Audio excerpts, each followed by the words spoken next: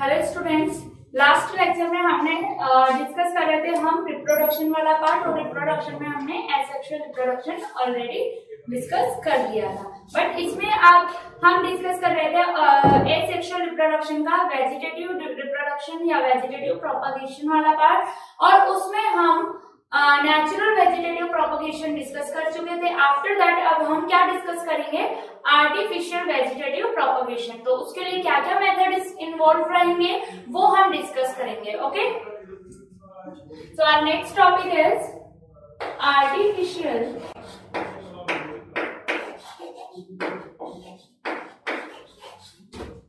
vegetative propagation.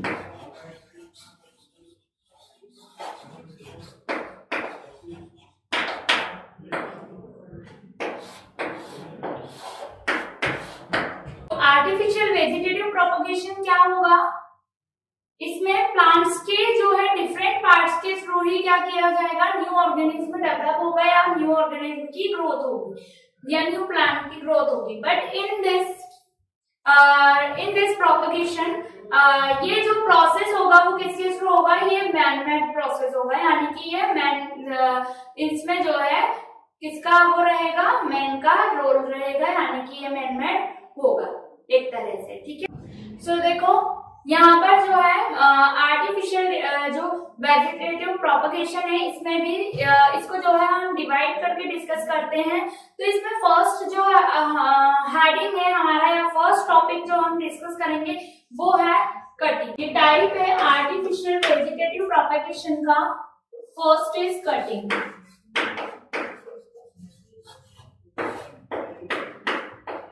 cutting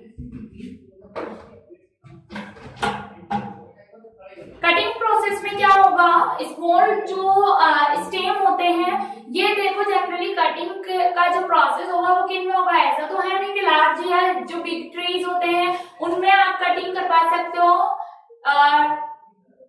large trees में ये method possible ही नहीं होगा। बट ऐसे जो है plants like shrubs shrubs like जो श्रब्स लाइक जो प्लांट होते हैं जनरली उनमें क्या होती है? कटिंग की प्रोसेस करवा सकते हैं। और इसमें क्या किया जाता है? किसी भी प्लांट का जो स्टेम होता है या उसकी कोई ब्रांच होती है तो उसको क्या किया जाता है? स्मॉल पार्ट को कट किया जाता है। और आफ्टर कटिंग उसमें जो है, उसकी जो कटिंग होती है, उसमें कैम्बियम भी प्रेजेंट होना चाहिए।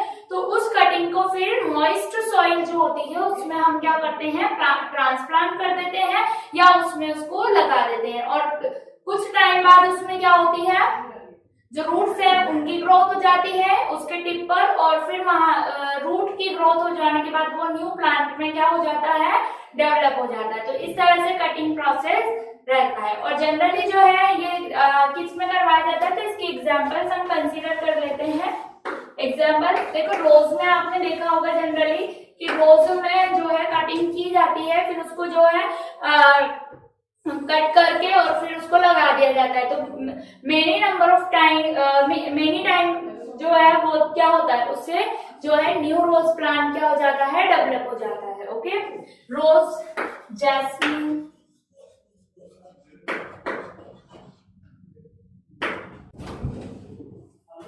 rose sugar cane etcetera second point artificial जो वेजिटेटिव प्रोपोगेशन है, उसका जो सेकेंड पॉइंट है, वो हम डिस्कस कर रहे हैं क्या?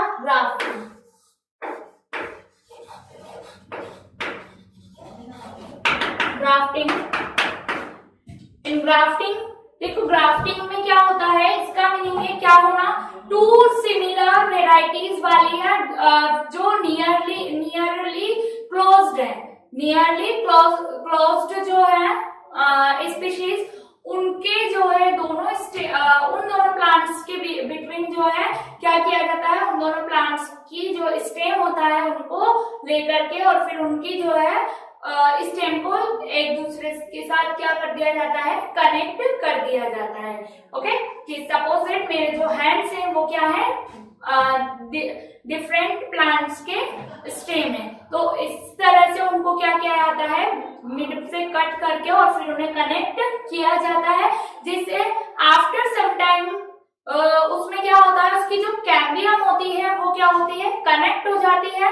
और इस तरह से जो डिफरेंस होता है, या जो वेराइटी है, उससे बहुत बेटर बेटर जो है फ्रूट्स हमें मिलते हैं, या बेटर जो भी फ्लावर्स होते हैं, वो हमें मिलने लगते हैं।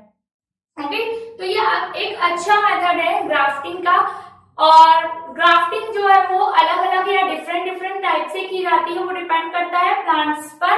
कि जो उसकी वैरायटी है, उसके अकॉर्डिंग ओके क्राउन ग्राफ्टिंग होती है वेज ग्राफ्टिंग होती है बट ग्राफ्टिंग होती है तो वो डिपेंड करता है ओके वो क्या करता है? डिपेंड करता है स्टेम पर। एंड जो, जिन भी प्लांट्स में हम करवाना चाहते हैं या जिन भी प्लांट्स में वेजिटेटिव प्रोपोगेशन होना है क्लियर अब यहाँ पर देखो, दो वो होती है, जब हम क्या करते हैं? हम जब कंसीडर करते हैं कि दो प्लांट के स्टेम है तो दो प्लांट के स्टेम में से एक प्लांट का जो या वन प्लांट स्टेम जो होता है, वो तो क्या होगा? यानी कि एक प्लांट जो है, वो तो क्या रहेगा? सॉइल में प्लेस्ड रहता है, ठीक है? और इसमें क्या होती है? रूट्स भी रहती है। तो ये एक प्लांट का जो स्टेम है, वो तो सॉइल में क्या रहता है? प्लेस्ड रहता है। इस तरह से। सपोज़ हम वेज ग्राफ्टिंग का एग्ज़ाम्पल ले रहे हैं इसमें। और जो दूसरा प्लांट प्लांट जो है वो इस तरह से जो है, इसमें क्या किया जाता है? कनेक्ट किया जाता है। तो इन दोनों को जो है अलग अलग हम टर्म दे देते हैं ओके तो देखो, जो ऐसा पार्ट जो कि सॉइल में क्या रहता है? प्लेस्ड रहता है सॉइल में ही अरेंज होता है। ऐसा पार्ट उसको क्या कहते हैं हम? रूटेड जो प्लांट है, वो क्या कहलाएगा? सीओम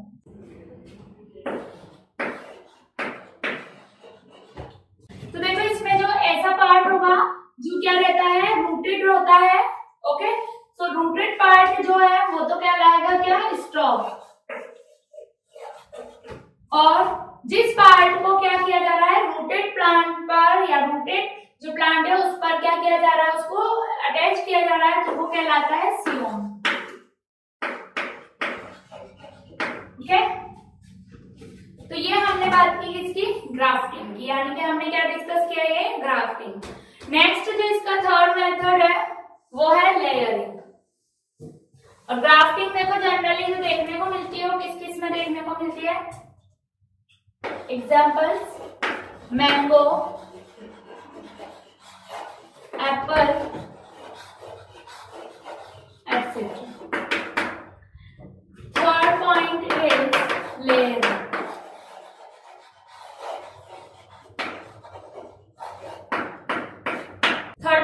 layering layering जो टाइप है या मेथड है प्रोपोगेशन का इस मेथड में क्या किया जाता है जो स्मॉल साइज़ प्लांट होते हैं जनरली उनमें ये प्रोसेस या ये मेथड उनके लिए यूजफुल रहता है इस मेथड में जो ब्रांच होती है स्मॉल ब्रांच उसको क्या किया जो कि सॉइल के नियरर होती है, उसको क्या किया जाता है?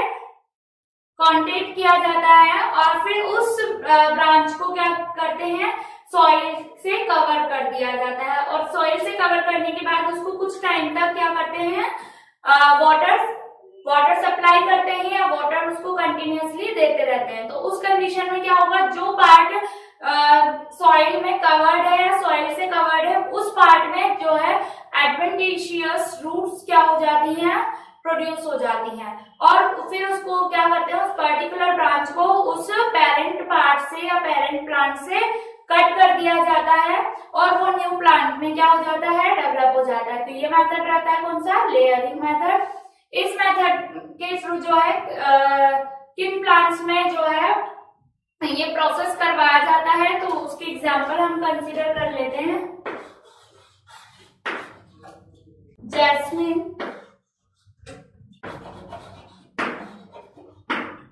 हिबिस्कस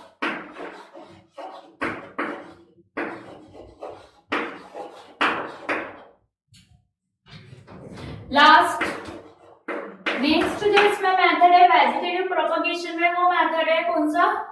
Tissue culture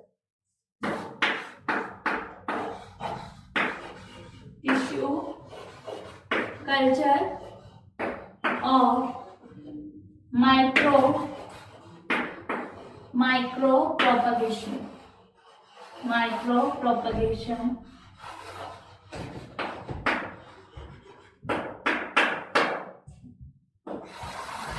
देखो, ये इम्पोर्टेंट और अच्छा मेथड है इसको हम बेस्ट मेथड मान सकते हैं, क्योंकि इससे बहुत ही कम टाइम में क्या होता है मेनी नंबर ऑफ़ प्लांट्स जो है उनकी ग्रोथ करवाई जा सकती है या many number of plants produce किए जा सकते हैं। ओके सो रैपिडली इससे इसके थ्रू जो है रैपिडली प्लांट्स की ग्रोथ होती है।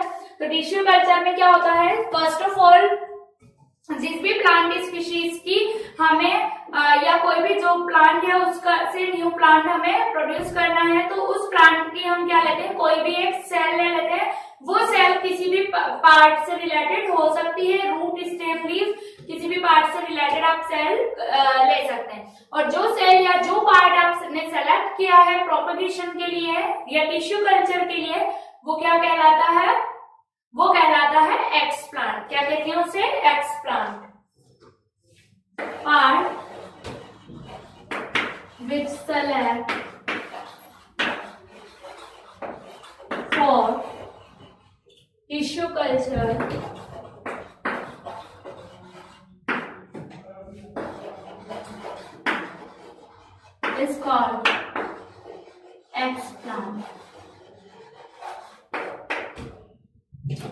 ये क्या कहलाएगा? एक्सप्लांट नाउ एक्सप्लांट जो है कंप्लीटली डेवलप होता है किसमें?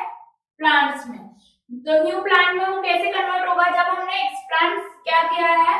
कर, आ, या प्लांट का कोई भी पार्ट हमने सेलेक्ट किया जिसको हम एक्सप्लांट बोल रहे हैं तो जब उसे क्या किया जाता है? न्यूट्रिशन मीडियम में ट्रांसफ़र किया जाता है। तो न्यूट्रिशन मीडियम में ये इसको क्या होता है? न्यूट्रिशन लेकर के इसमें डिविजन स्टार्ट हो जाते हैं। यानी कि यहाँ पर क्या होता है? डिवीज़न होते रहते हैं कंटिन्यूसली और ये रैपिडली रिपीटेड डिवीज़न के थ्रू एक इसका जो है ग्रुप बन जाता है। सेल्यूलर ग्रुप बनेगा या सेल का ग्रुप बन जाता है, जिसको क्या कहा जाता है? कैलस क्या कहते हैं इसे? कैलस कैलस कहा जाता है? नाउ कैलस जो है उसको अनदर मीडियम में फिर ट्रांसफ़र किया जाता है और अनादर मीडियम में ट्रांसफ़र करने पर ये उससे उस मीडियम में भी क्या होते हैं कुछ न्यूट्रिएंट्स होते हैं जो प्लांट की ग्रोथ के लिए एसेंशियल होते हैं हार्मोन्स उसमें होते हैं जो कि प्लांट्स की ग्रोथ को क्या करते हैं रेगुलेट करते हैं ओके सो so, ये किसमें कन्वर्ट हो जाता है फिर कैलिस कैलिस कन्वर्ट होगा? धीरे धीरे डेवलपमेंट होगा और डेवलपमेंट के थ्रू ये किसमें कन्वर्ट होगा? प्लांटलेट्स में।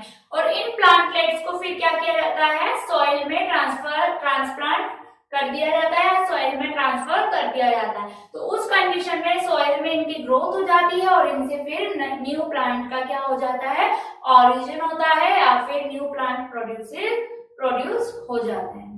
क्लियर तो ये मेथड रहता है माइक्रो प्रोपगेशन का।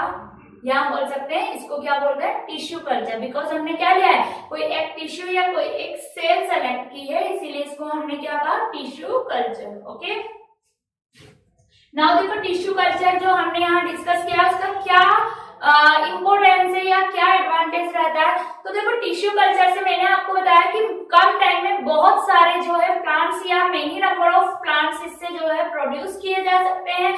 ये मेथड कैसा होता है? बहुत ही cheap and rapid and easy method है। कैसा मेथड है? Cheap easy and rapid method है। बहुत फास्टली इससे और न्यू प्लांट्स हम ऑरिजिन कर सकते हैं, उनको प्रोड्यूस कर सकते हैं। इसके अलावा देखो, इनसे जो है superior type of fruits and flowers obtain किए जा सकते हैं। इस मेथड के थ्रू जो है जेनेटिकली आइडेंटिकल जो ऑर्गेनिज्म है उनको प्रोड्यूस किया जा सकता है क्लियर ये हमने डिस्कस किया क्या? एसेक्सुअल रिप्रोडक्शन ना एसेक्सुअल रिप्रोडक्शन के हमने टाइप डिस्कस किए हैं और उसके जस्ट बाद नेक्स्ट टॉपिक हम डिस्कस करेंगे क्या? इंपोर्टेंस ऑफ़ एसेक्सुअल रिप्रोडक्शन या advantage of asexual reproduction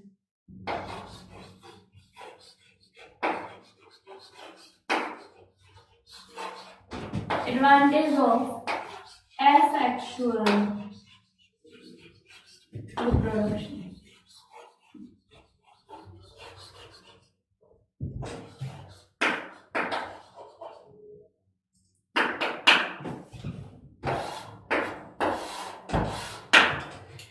तो देखो एसेक्सुअल रिप्रोडक्शन जो है उसके एग्ज़ाम्पल क्या होंगे? या हम बोल सकते हैं सॉरी उसके एडवांटेज क्या होंगे? तो देखो फ़र्स्ट पॉइंट यहाँ पर क्या होगा कि ये जो मेथड है एसेक्सुअल मेथड वो कैसा मेथड है? रैपिड मेथड होता है। यानी कि इससे भी बहुत ही कम टाइम में या लेस टाइम में मेनी नंबर ऑफ़ स्पीशीज या बहुत ज़्यादा नंबर में स्पीशीज क्या की जा सकती है या ऑर्गेनिज्म प्रोड्यूस किए जा सकते हैं। सेकंड इसका एडवांटेज क्या रहता है कि इस मेथड के थ्रू जो है आइडेंटिकल जेनेटिकली आइडेंटिकली स्पीशीज जो है, वो प्रोड्यूस की जा सकती हैं। थर्ड एडवांटेज क्या है? जो स्मॉलर या हम बोल सकते हैं लोअर कैटेगरी वाले जो ऑर्गेनिज्म है जनरली उनमें एसेक्सुअल रिप्रोडक्शन के थ्रू ही क्या होता है? एसेक्सुअल रिप्रोडक्शन के थ्रू ही न्यू ऑर्गेनिज्म का क्या होता है? प्रोडक्शन होता है या ओरिजिन होता है। ओके यूनिपेरेंट होता है। हम क्या बोल सकते हैं? इसे यूनिपेरेंट है, यानी कि सिंगल पेरेंट इसमें इन्वॉल्व रहता है। एंड इस आ, इस रिप्रोडक्शन में सेक्सुअली जो मैचुरेशन होता है उसकी कोई रिक्वायरमेंट नहीं होती है. डायरेक्टली क्या होता है? ऑर्गेनिज्म टू पार्ट्स में या इक्वली टू पार्ट्स में डिवाइड हो जाता है और डिवाइड होकर के उसमें क्या होता है? वो जो डिवाइडेड पार्ट होते हैं वो न्यू ऑर्गेनिज्म का क्या करते हैं? प्रोडक्शन करते हैं या न्यू ऑर्गेनिज्म का ओरिजिन करते हैं. Okay okay? तो ये हमने डिस्कस किया क्या इसका एडवांटेज इसका एसेक्सुअल रिप्रोडक्शन का नेक्स्ट जो हेडिंग है, वो है सेक्सुअल रिप्रोडक्शन एसेक्सुअल रिप्रोडक्शन हमारे चैप्टर का फ़र्स्ट हेडिंग था टाइप ऑफ़ रिप्रोडक्शन हम डिस्कस कर रहे हैं और उसमें हम एसेक्सुअल रिप्रोडक्शन कंप्लीट कर चुके हैं. नेक्स्ट जो सेकंड है सेकंड टाइप क्या है? Sexual reproduction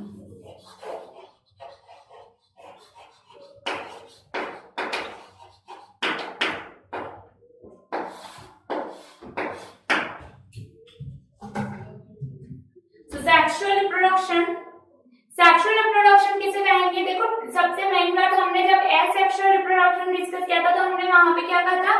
only single parent involve होता है but in sexual reproduction two parents involve okay so two parents are involve in sexual reproduction and gametes of both uh, male and female gametes are combined to each other and form the zygote okay so that process is called fertilization so fertilization process यहाँ होता है किसमें ऐसे sorry sexual reproduction में so first of all ये तो हमने क्या किया ओनली इसकी इसको डिफाइन किया है कि सेक्सुअल रिप्रोडक्शन क्या है?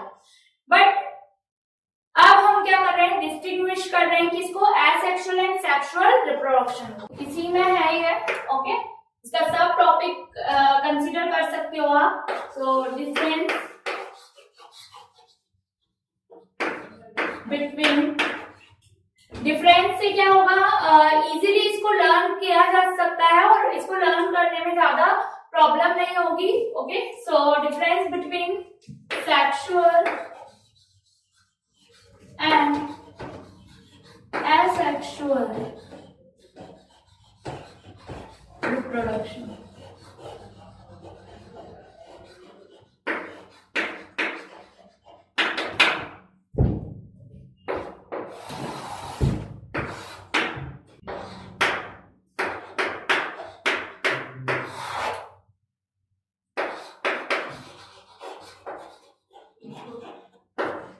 heading क्या था हमारा सेक्सुअल एंड सेक्सुअल रिप्रोडक्शन में जो डिफरेंसेस है उसके लिए हम डिफरेंस की बात कर रहे हैं तो इसमें हमने फीचर्स कंसीडर किए हैं कि किस फीचर्स के बेसिस पे हम इसमें डिफरेंसेस की बात कर रहे हैं ओके या डिफरेंसेस कंसीडर कर रहे हैं नाउ फ़र्स्ट जो फीचर है इसका वो क्या है of parent involved so how many number of parent involved in both uh, asexual and sexual reproduction so we know that in asexual reproduction only one and single parent involved in this. Okay but uh, in sexual reproduction two organism and two uh, parent are involved in. The next and second feature is resemblance with parent.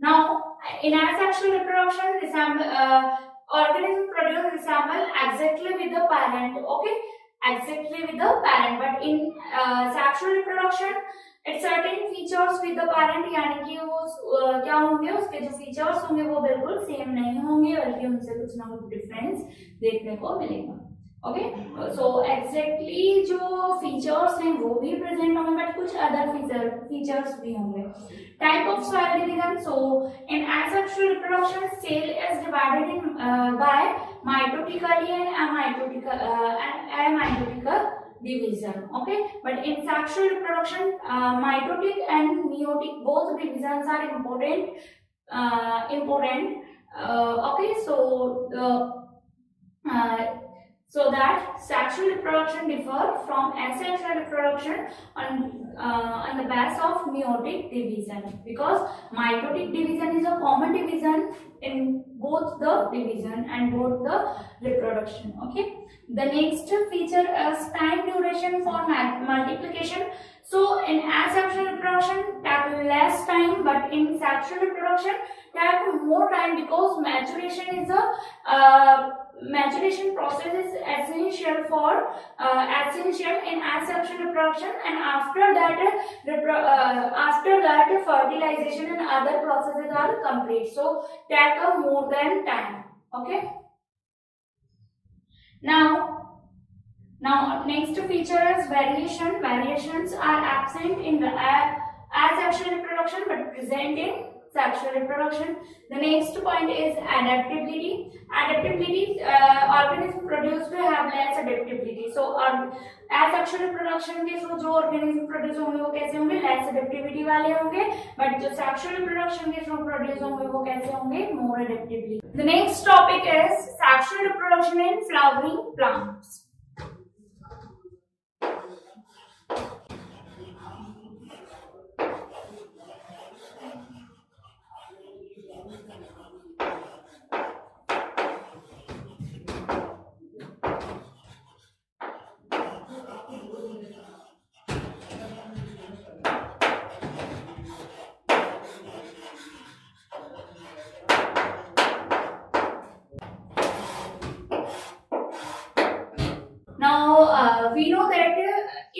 Flowering plants, flower is a uh, reproductive shoot and reproductive part of the plant.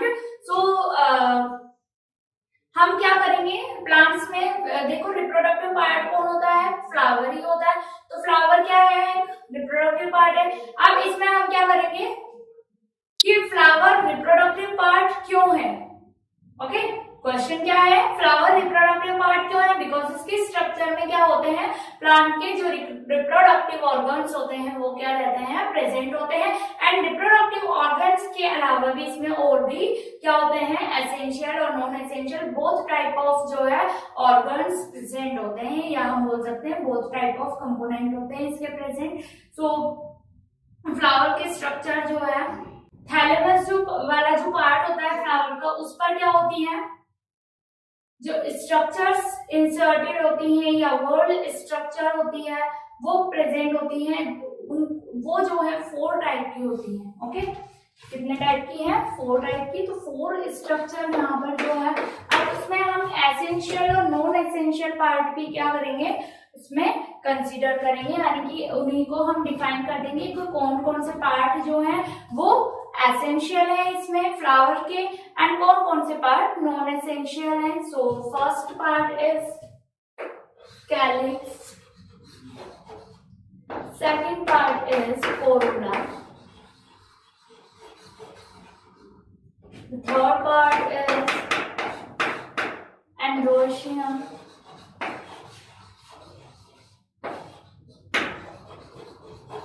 and the fourth is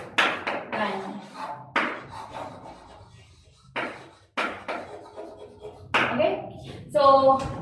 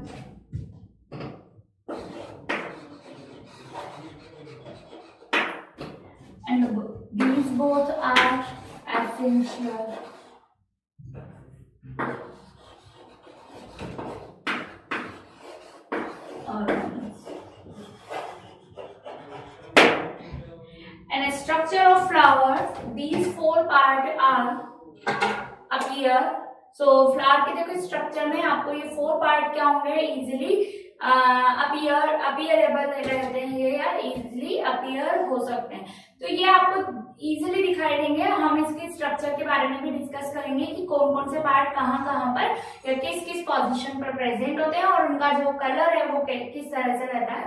okay but उससे पहले हम यहाँ पे क्या करेंगे? Flower की जो actual structure होती है वो हम डिस्कस करेंगे okay this is the structure of flower uh, in this this part is calyx.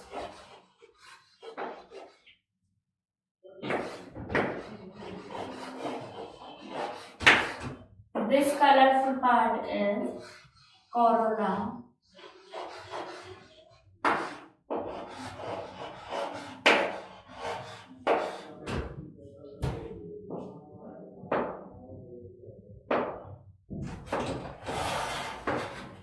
This part is gynoecium.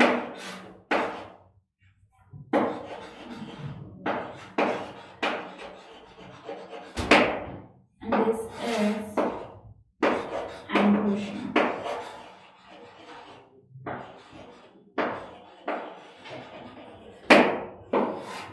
This is thalamus.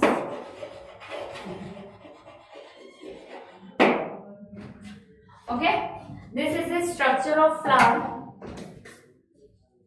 In uh, flower structure, the first part calyx is present. So calyx is the uh, outer part of the flower. Uh, it protect the bud and cover the bud after blooming. Okay, sorry before blooming. So it protect the petals. It uh, protect the petals. Now calyx are also called sepal and it is uh, uh, generally in uh, it is generally uh, is green in color. Okay, so ये कैसे होते हैं green color के generally होते हैं. The next part is corolla. Corolla is the part of uh, corolla is the second part of gold uh, flower. So it protected by corolla is protected by calyx and corolla is a colorful part uh, generally colorful part okay? So, and it attract the insect for the pollination okay? The next one, androecium part is a male game uh, part is a third third world part third world part of uh, flower. Androecium part is male reproductive part of flower and this part this part is divided in two other parts Okay, uh, this part is divided into two other parts.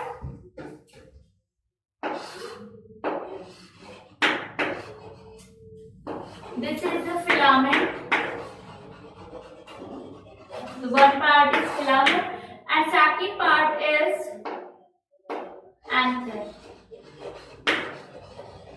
In anther, lobes are present and lo in, in lobes lobes are present and lobes में क्या होती है? छोटे छोटे pollen grains का क्या होता है? यहाँ पर स्मॉल पॉलन ग्रेन्स का फॉर्मेशन होता है ओके okay? क्या होता है? यहाँ पर स्मॉल पॉलन ग्रेन का फॉर्मेशन होता है। तो ये होता है क्या? इसका फ्लावर का मेल गैमेटिक मेल गैमेट वाला पार्ट या हम बोल सकते हैं male reproductive part the next part is gynoecium gynoecium part कैसा पार्ट है? ये फीमेल रिप्रोडक्टिव पार्ट है एंड इस पार्ट में क्या होता है? जो गायनोशियम पार्ट है, वो जनरली थ्री पार्ट्स में क्या होता है? डिवाइडेड रहता है. थ्री पार्ट्स इसके कौन कौन से होंगे? ये देखते ये इस तरह का पार्ट आपको फ्लावर के स्ट्रक्चर में दिखाई दे रहा होगा। इस तरह का।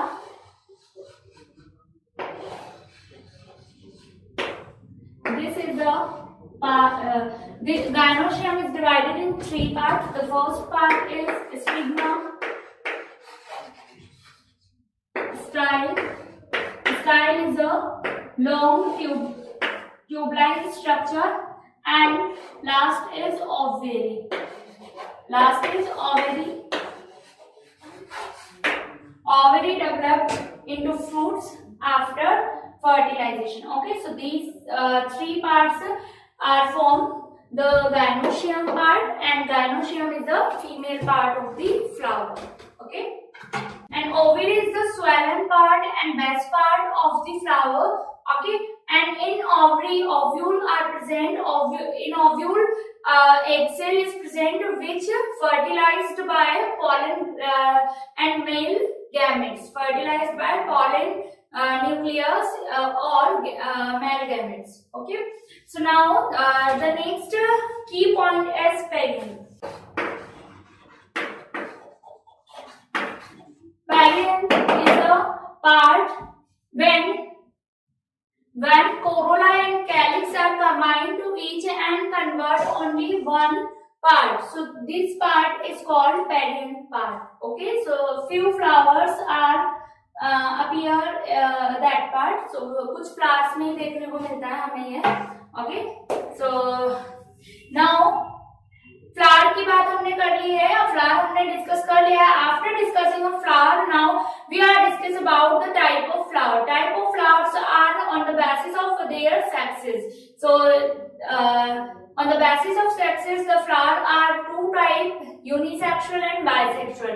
Then bisexual bisexual flowers are flowers in which both male and female reproductive parts are present okay so this uh, this this uh, flower is called bisexual flower bisexual flower generally uh, देखने को कहा मिलेगा generally found in pea plant sorry pea plant yeah pea plant next is hibiscus mustard etc but in uni, uh, unicellular flower unisex sorry the second is unisexual flowers. Unisexual flower in unisexual flower unisexual flower किसे कहेंगे? तो देखो जब क्या होगा? किसी भी flower में जब ओनली वन सेक्स ही क्या रहेगा? प्रेजेंट रहेगा यानी कि या तो मेल मेल सेक्स प्रेजेंट होगा या फीमेल सेक्स प्रेजेंट होगा। यानी कि मेल पार्ट या फीमेल पार्ट वो दोनों में से एक पार्ट तो फिर उस फ्लावर को क्या कहेंगे हम? यूनिसेक्सुअल फ्लावर और ये जनरली देखने को मिलता है जो बॉटल गार्ड है और अदर जो प्लांट है like papaya date palm etcetera okay now the next topic is pollination the next topic is pollination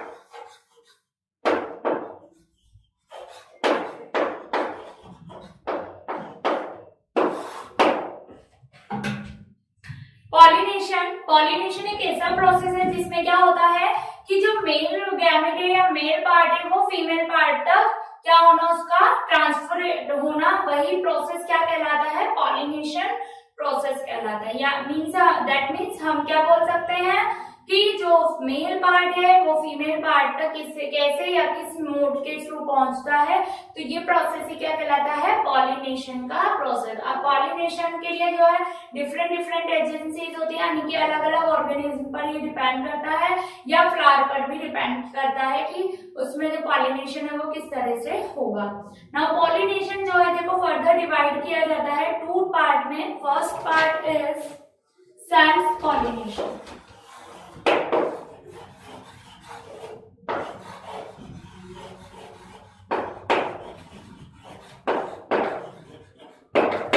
self pollination in self pollination क्या होगा सेल्फ पॉलिनेशन जब क्या हो जो मेल गैमेट्स है, वो फीमेल गैमेट्स तक तो पहुँचे बट सेम ही फ्लावर के फीमेल गैमेट तक पहुँच जाते हैं।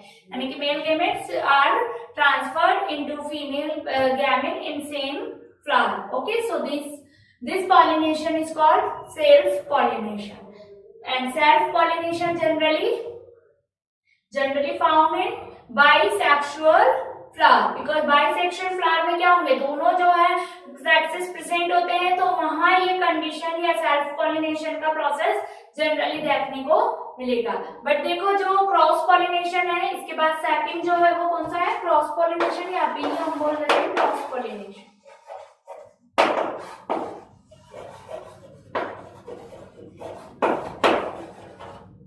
but in cross pollination cross pollination में क्या होगा?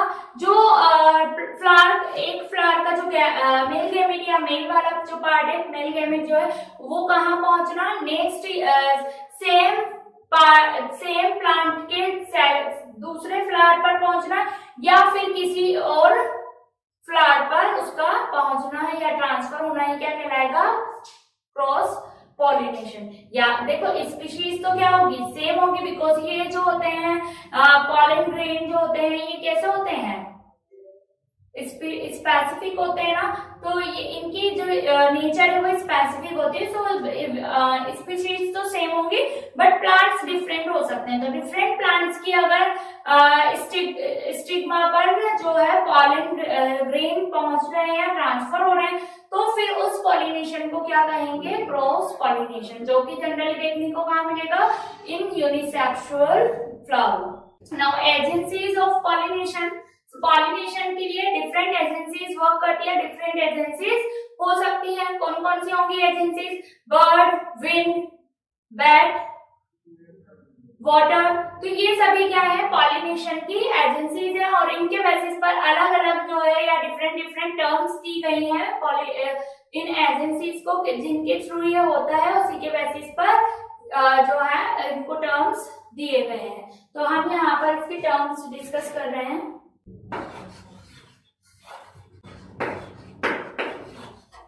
Agencies of pollination.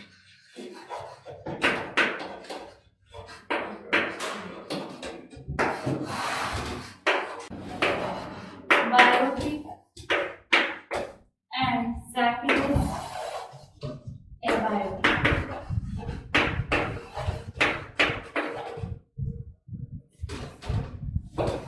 Now biotic is further divided in three parts.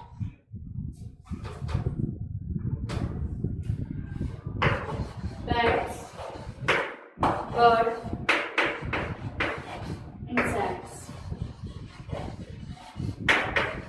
So when pollination complete by a bat, then this uh, process is called chiroptophilia.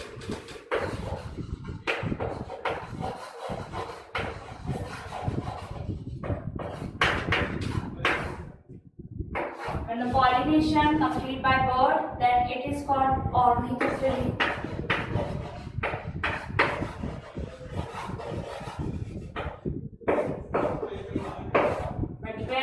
from the insect, then it is called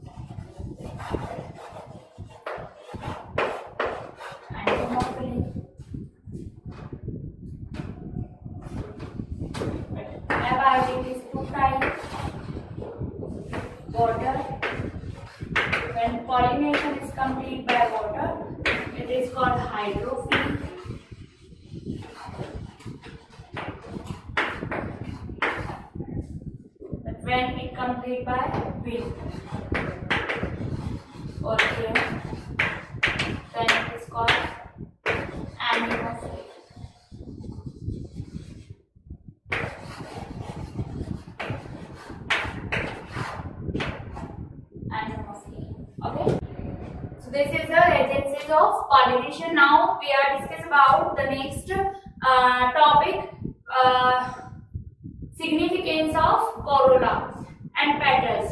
So देखो significance क्या होता है petal का flower में की flower को जो है ये क्या करते हैं कलरफुल बनाते हैं या उसमें जो है, क्या करते हैं कलर प्रोड्यूस करते हैं और इन कलर की वजह से ये कलर कैसे होते हैं, बहुत ज़्यादा ब्राइट होते हैं। तो ये क्या करते हैं ऑर्गेनिज्म को अट्रैक्ट करते हैं या ये पॉलिनेशन के लिए रेस्पॉन्सिबल होते हैं, यानी कि पॉलिनेशन करवाते हैं।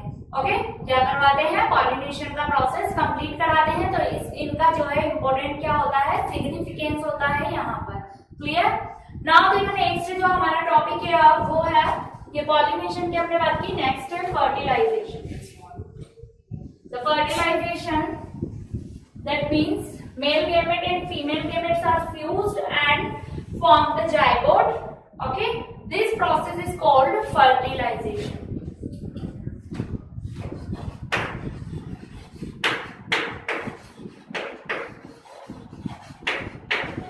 fertilisation gamete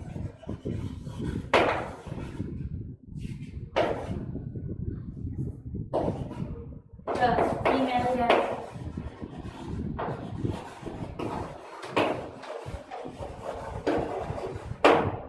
when the both gametes are fused, then zygote is formed. Both gametes are haploid in structure, but uh, zygote is a diploid structure. And after developing of zygote, then zygote convert into embryo and embryo convert into seed. Okay. So now, the, after fertilization, zygote uh, repeat the division, repeated division again and again and convert uh, and convert into embryo and embryo is a convert into the seed. Okay. Now embryo is a convert into the new organism, you know, new organism having a species. So how uh, how that is formed? So then pollination after pollination, the uh, male gamete transfer into the stigma of the flower, then uh, pollen tube is formed and rupture the uh, wall of stigma, then enter in the uh, stigma and uh, style से होती हुई कहाँ तक जाती है ovary तक transfer हो जाती है एंड ओवरी में यहाँ जाने के बाद ये क्या होती है? एग सेल जो होते हैं ओवरी में क्या होते हैं? ओव्यूल और ओव्यूल में ये चली जाती है, और ओव्यूल में क्या होती है? एग सेल होती है ओके क्या होती है ओवरी में? ये इस तरह की स्ट्रक्चर होती है ओव्यूल की। सिनर्जी जो होती है यहाँ पर।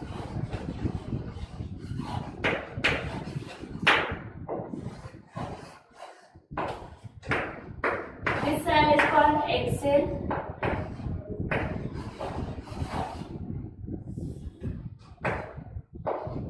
एक सेल दो जो सेल होती है, वो क्या करती है? सेल सेल को न्यूट्रिशन प्रोवाइड कराती है। यहाँ पर ये जो है, ये क्या होते हैं?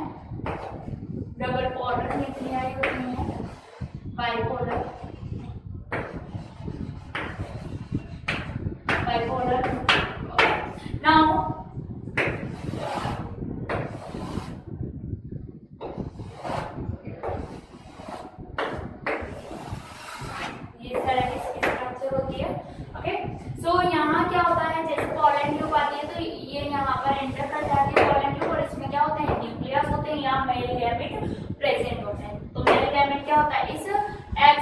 बाइपोलर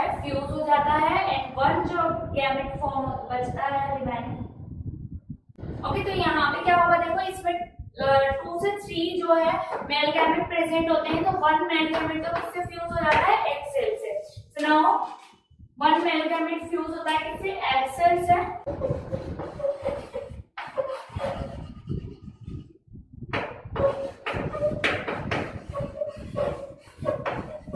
देन क्या फॉर्म होगा?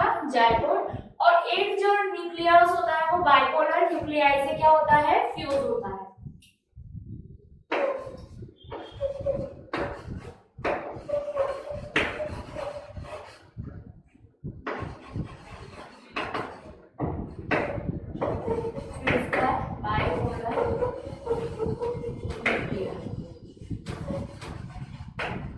तो ये क्या फॉर्म करेगा इससे इसके साथ जुड़ करके या इससे इसके साथ कंबाइन होकर के क्या फॉर्म करेगा? ट्रिप्लोइड